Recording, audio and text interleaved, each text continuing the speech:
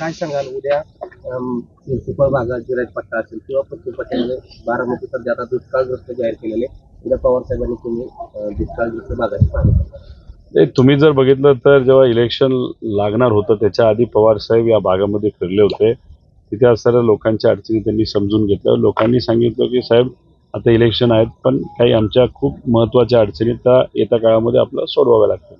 इलेक्शनच्या काळामध्ये सुद्धा आम्ही असेल सुप्रियाताई असतील बारामतीमध्ये अजूनही इतर सर्व पदाधिकारी आम्ही जेव्हा फिरत होतो तेव्हा ज्या काही अडचणी आम्हाला सांगितलेल्या आहेत तर त्या सगळ्या अडचणी नोंद करून साहेबांपाशी आम्ही मांडलेल्या आहेत. आणि मग साहेबांनी सुद्धा शब्द दिला होता इलेक्शन झाल्या झाल्या मी तुमच्याकडे येईल तर साहेब शब्द पाळणारी व्यक्ती असल्यामुळे साहेब आता लोकात जाऊन जे काही इलेक्शनच्या काळात इलेक्शनच्या आधी आणि आता सुद्धा जे विषय समजून घेतलेत ते सोडवण्याचा प्रयत्न तिथे करत आहेत. मी सुद्धा काही दिवसांपूर्वी सुप्रियाताई मी आणि काही युगेंद्र असतील असे काही सर्व पदाधिकारी आम्ही फिरत होतो. तिथेही आम्ही एक टोटल डॉक्युमेंट बनवलेलं आहे. ते डॉक्युमेंट काल संध्याकाळी साहेबांना दिलेलं आहे. ते डॉक्युमेंट घेऊन आणि साहेब स्वतः त्याच्यामध्ये लक्ष घालून येत्या काळामध्ये हे सगळ्या अडचणी तिथं सोडवतील असा विश्वास आहे.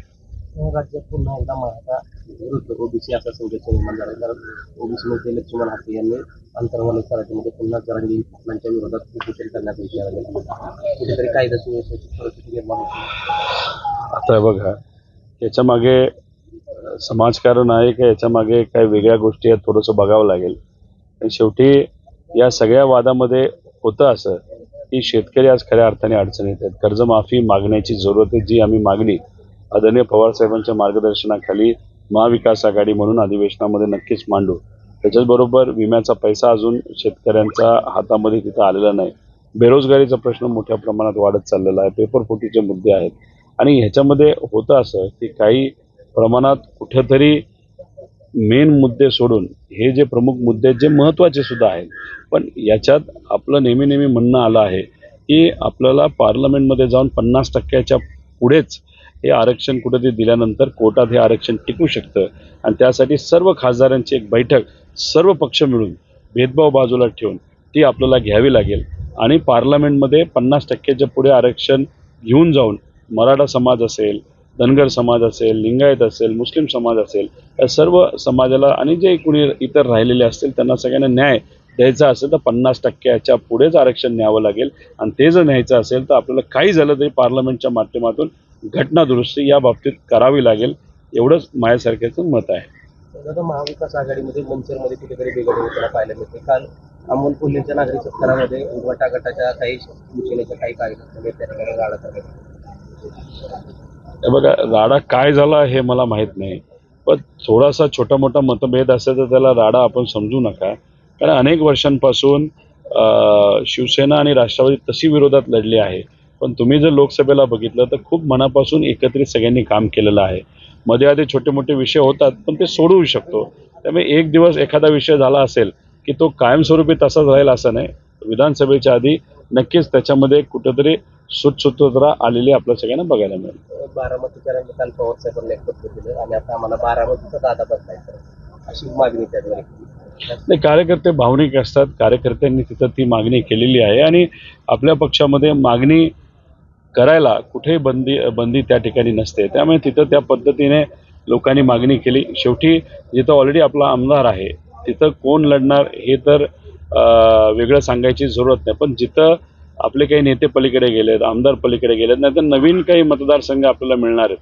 तिथं असं ओपनली आपल्याला चर्चा करत नाही की ह्यांनाच आपण देणार त्यांनाच आपण देणार.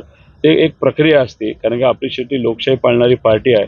त्या प्रक्रियेच्या माध्यमातून जेव्हा आपण जाऊ तेव्हाच कुठेतरी नाव आपल्याला डिक्लेअर करता येईल. त्यामुळे पवार साहेब त्या बाबतीत नाव नक्कीच डिक्लेअर करतील. तुम्हाला वाटतंय का की बदलायचा नाही याच्यामध्ये आता लोकसभेला जे झालं जिथं लढा फार प्रामाणिकपणे सर्व पदाधिकाऱ्यांनी कार्यकर्त्यांनी त्या ठिकाणी लढला.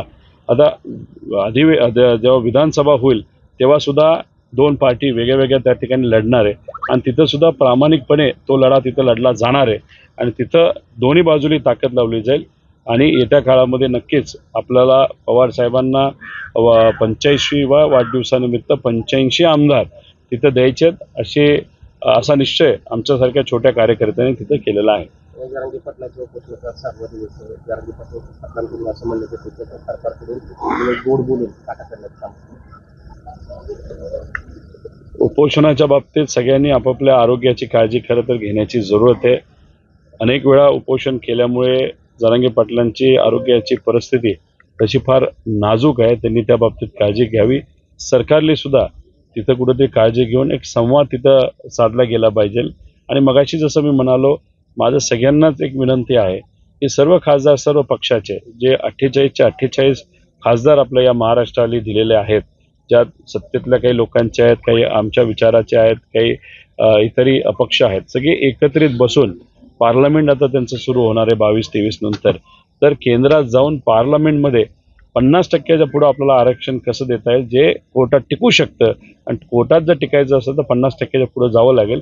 आणि हे सम सर्व सामाजिक कार्यकर्ते जरांगे पाटील साहेब असतील इतरही सर्व मान्यवर असतील जे सामाजिक विविध समाजासाठी लढत आहेत ते सगळे एकत्र धनगर समाजाचे काही पदाधिकारी आहेत एकत्रित बसून एक योग्य असा आराखडा बनवून त्यात राजकारण न आणता समाजकारण डोक्यात ठेवून केंद्राच्या माध्यमातून पार्लमेंटमध्ये घटना दुरुस्ती करूनच हा मार्ग मोकळा होऊ शकतो.